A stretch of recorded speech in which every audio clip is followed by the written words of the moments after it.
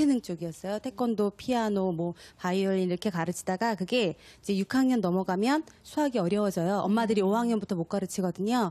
그러면 이제 그런 예체능 했던 돈들이 이제 교과목으로 넘어가는 거예요. 영어, 수학 이쪽으로 넘어가다 보니까 이제 중학생이 되니까 네. 예체능보다는 학업 위주의 학원을 보내게 되더라고요. 그렇군요. 그러니까 학교를 보내다 보면 한 반에 학급수가 너무 많아요. 음. 그러니까 선생님이 가르치는 데는 한계가 좀 계시더라고요. 그리고 또 너무 많다 보니까 내 아이의 성향이 어떠신지도 알 수가 없고, 근데 엄마의 욕심은 좀 잘 됐으면 좋겠고, 아, 이 부분은 좀 개발을 했으면 좋겠잖아요.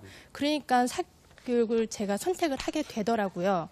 예, 그래서 저는 안 시킨다 하지만은 그래도 요것저것 최대한 이렇게 의견을 맞춰서 좀 시키고 있는 편이에요. 그래도. 네. 예. 학원도 많고요. 교육 정보도 워낙 많잖아요.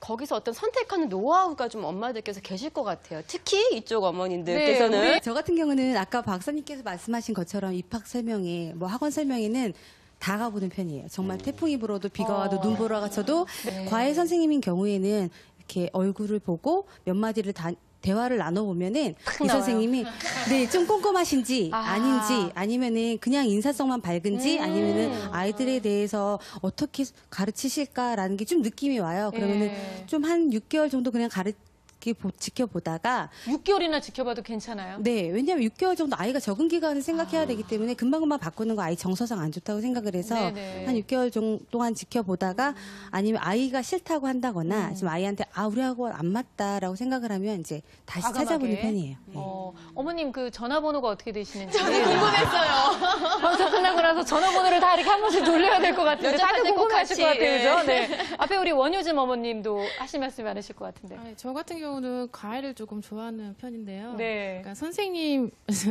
어, 혈액형을 좀 많이 중시하는 편이에요.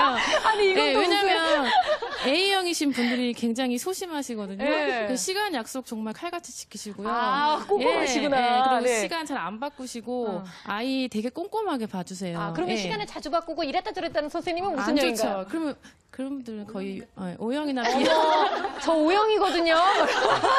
또 이렇게 자, 그런데 이런 거는 그래도 엄마가 반드시 체크하셔야 합니다라고 하면서 사교육을 선택할 때 조심해야 될 부분도 있을 것 같아요. 네. 예, 이 부분은 좀 메모를 하면서 들을 필요가 있는 것 같은데요. 네, 네. 첫 번째, 능력에 맞나 안 맞나. 그러니까 보내야 되나 안 보내야를 고민할 게 아니에요. 이게 우리 애가 할 수 있는 거냐 없는 거냐가 굉장히 중요한 것 같고 옆집 애가 할 수 있다고 우리 애가 할 수 있는 건 아니거든요. 두 번째는 목표에 맞느냐 안 맞느냐. 음. 5학년 아이가 열심히 피아노를 치고 있어요. 그게 음대 가래가 아니에요. 네. 얘는 지금 피아노가 안 맞는 건데 우리 아이는 의대에 가고 싶어요. 그럼 얘는 수학을 굉장히 많이 해야 되거든요. 그러니까 목표하고 내가 시키는 게 맞냐 안 맞냐. 음. 세 번째는 어, 그 수업 이후에 복습할 시간이 있느냐. 그러니까 학원이 너무 많이 들어가다 보면 학원 쇼핑만 들어가거든요. 배운 거가 익힐 시간이 없으면 모르는 게 자꾸 누적이 되기 때문에 학원 다니는 게 별 의미가 없어지고요. 네. 네 번째는 아까 많은 분들이 지적을 해줬는데 선생님과 아이하고 조화를 이루느냐.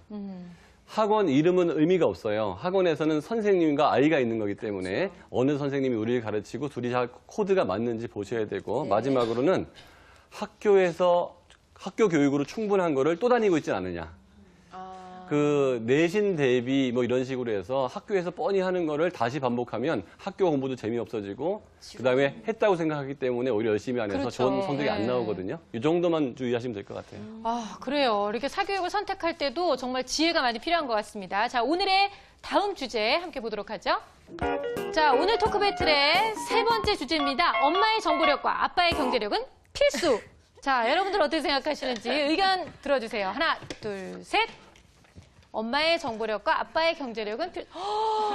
전원 공감하십니다. 전원 공감. 오늘 배틀이 안 되는데요. 그러니까 이거는 그냥 모든 그 대한민국의 엄마 아빠들이 다 비슷한, 갖고 계시는 예. 비슷한 생각이신 것 같은데요. 자 그렇다면 일단은 나는 정보력이 좀 되는 엄마라고 생각한다라고 생각하시는 분 하나 둘 셋. 네. 아니다. 아, 어, 네. 정보력이 있다고 생각하시는 어머님들은 지금 굉장히 지금 어깨에 힘이 빡 들어가셔가지고. 네. 제가 그러니까 이렇게 학원을 보내는 거예요. 막 이러시는데, 아니, 안경난 어머니께서는 열심히 보내고 계시는데 왜 아니라고 생각하세요? 전 정보에 의존해서 다니는 것보다 그냥 제 생각대로 제 주관대로 보내기 때문에 아, 그래서 네. 남의 얘기의 정보력은 네, 아니다. 정보를 들으면 더 흔들리고 있어서 음. 네, 저 제 주관대로 해요. 네. 자, 그렇다면 이제 그 이쪽에서. 네. 나는 정보력, 예, 정보력에 관련된 어머니 어떤 생각 갖고 계시나요? 저는 아이를 제가 그냥 직접 가르치니까 정보에 더 민감해야 될 것 같아요. 음, 왜냐하면 그렇죠. 남들은 학원을 다니면서 사교육을 받는데 제가 이제 그 흐름에 뒤처진다든지 아니면 분위기를 모르고 있다든지 그래서 늘 책을 읽거나 카페를 들어가거나 뭐 네. 이런 데를 쫓아다니면서 이제 정보를 갖고 있습니다. 그래요. 음, 일단은 뭐 정보력에 대해서 굉장히 자신 있어 보이시는 우리 라은영 어머님, 어, 아까 우리가 전화번호까지 받아야 적어야 되지 않을까 굉장한 자신감을 가지고 계시거든요. 어느 아니, 자- 정도 정보력이신가요? 아니 자신감이 있는 건 아니고요. 저도 왜 저학년까지는 홈스쿨처럼 아이들을 가르쳤다고 말씀을 드렸잖아요. 네. 근데 어느 순간 저희 아이들은 이게 책을 되게 많이 읽고 이런 아이들이 공부 안 하는 게 습관이 돼버렸는데 이제 고학년이 되고 중학생이 되니까 정보가 없으면 음. 학급 성적도 나오지 않을 뿐더러 아이 들이 더 힘들어해요. 그래서 엄마가 어느 정도 정보를 인터넷도 찾아가고 저렇게 제가 일부러 찾아다니는 건 아이들에게 정보를 주고 정보를 줘야지 아이들이 꿈을 찾아가기 위해서 제가 준비를 시킬 수 있는 거잖아요. 네. 근데 엄마가 미리미리 준비 안 하면 우리나라는 너무 빨리 바뀌어요. 그래서 지금 같은 경우도 내신이 중1은 안 들어갔었어요, 그동안에. 근데 올해부터는 중1부터 내신이 들어가요. 그래요. 네, 이런 정보가 있어야지 이제 우리는 중1부터 모르잖아요. 준비를. 시키잖아요. 지금 아무도 모르잖아요. 네, 그래서 그냥 숨 놓고 있다가는 중3 가서 이제 고등학교 입학할 때 엄마들이 황당하게 되는 상황이 생기는 거예요. 근데 우리 아이가 너무 가고 싶어 해요. 근데 준비를 그동안 안 했다면 준비를 못 시켜준 엄마 잘못도 조금 있다고 생각을 해서 저는 인터넷도 읽어보고 신문 좀 꼼꼼히 보고 그리고 학교 설명회 꼭 가고요. 학원 설명회 좀 가서 많은 정보를 얻어서 아이들에게 얘기를 해줘서 이런 이런 것들이 있대라고만 얘기하지 이런 거 있으니까 너네 이거 공부해야 돼. 막 이렇게는 안 하고 있어요. 자, 그렇다면은요. 오늘 나오신 어머님들은 그래도 어느 정도 이제 평균 수준이시라고 볼 수 있을 것 같은데 요즘은 에듀푸어라고까지 얘기를 해서 정말 애들 공부시키느라고 허리띠를 졸라 매고 졸라 매서 나중에 나는 정말 노후에 어떻게 살지도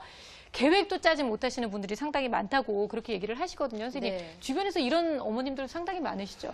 너무 세- 올인하시는. 예, 세일 때 물건 사는 것 같아요. 그러니까 남이 사니까 안 사면 고통스러워하는 그 정도거든요. 근데 세일 때 산 물건 그 물건값 낼 때 고통스럽잖아요. 그러니까 남들이 사- 필요한지 안 필요한지도 찾아야 되지만 네. 내 수준을 넘었으면 과감히 못하는 거죠. 할 수 없어요. 그러니까 뭐 고액가위를 할 수 있는 것도 아니고 그러면 그렇지 않은 방법을 찾아줘야 되는데 어떤 면에서 보면 그렇게 학원을 다닌다고 효과가 좋은 건 아니거든요. 그러면 내 아이한테 맞고 꼭 필요한 걸 최소한으로 잡, 그 잡을 수 있는 그 지혜가 필요한 것 같고 네. 그렇게 했을 때는 적절한 정도의 그 집에서 하는 교육만으로도 다 이루어질 수 있는 것 같습니다. 네. 자, 그렇다면 일단은요, 어머님들께서 나름대로 다